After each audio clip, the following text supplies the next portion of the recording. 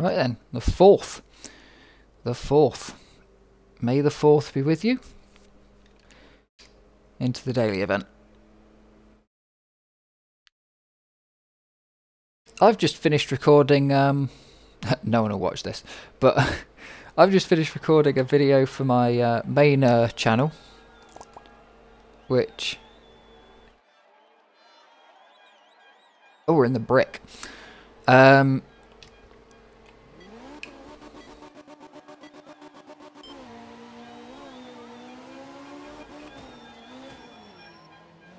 this is my main group 4 car which I go through all of the records set in December in uh, a game called Xonotic, which is a first-person shooter that you can also race in.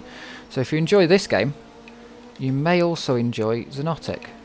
If you are watching this, you probably uh, have half a chance at wanting to watch a YouTube video that's going to be like two hours long. Um, going through a bunch of records. That wasn't good. That wasn't good. I of course did not warm up for this. I never really do. For daily challenges. They are my warm up for everything else. The problem is, you can warm up, but you can have a very bad warm up for a daily challenge. If you go play something like Group S, and then you hop on and you find out that it's Group 4, you're going to be stuffed. If you happen to have been grinding Franzenheim in the fog for whatever reason. You'd never grind time trial in the fog unless it was for uh, practice. For a for an event thing. But unless you happen to be practicing like maybe even just Germany in the fog. Whoop. Or just Germany in in the car that happens to come up. Do like this uh, I was about to say Switzerland.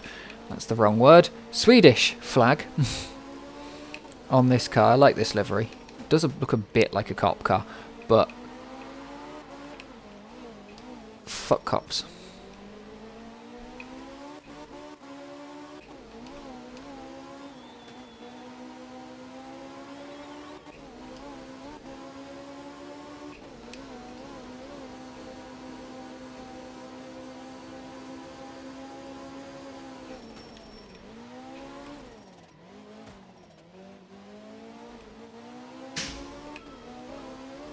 Oh dear.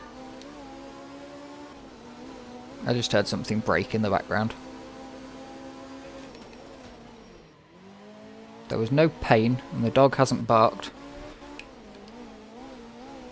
Therefore, it's fine.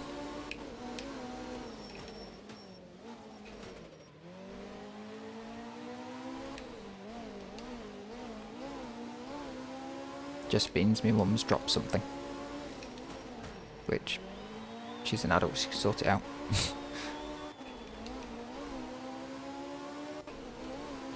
go, go, go, go, go.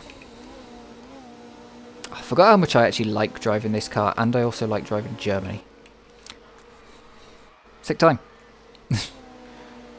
yeah. Wasn't great. Wasn't great. Group 4 is a competitive, um, competitive leaderboard. Well, I ended up yesterday. 64th, that's really good considering it wasn't a great run at the start to have ended up 64th. But yeah, just watching. See ya.